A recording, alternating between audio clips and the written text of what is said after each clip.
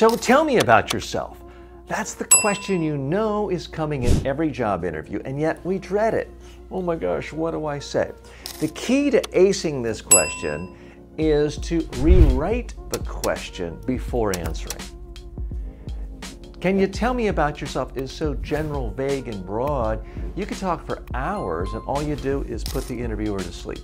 You first got to rewrite it. What is this person really asking?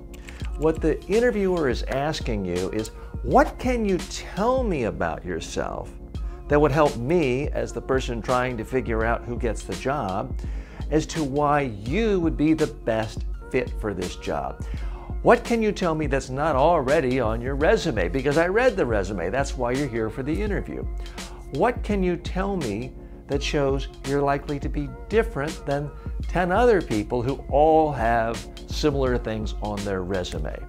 So I don't need to know about all your hobbies or where you grew up or where you went to college unless there's something unique about one of those things that's going to make me say, oh, that is exactly the person we need for this job. That's the sort of experience, credential we need for this job. So you've got to look at it very narrowly through the lens of what this person is really asking.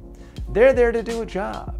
They're trying to figure out how can they make a selection of the best person for this particular job. So everything you say in answering that question needs to help the interviewer. So you don't have to talk about your favorite hobby.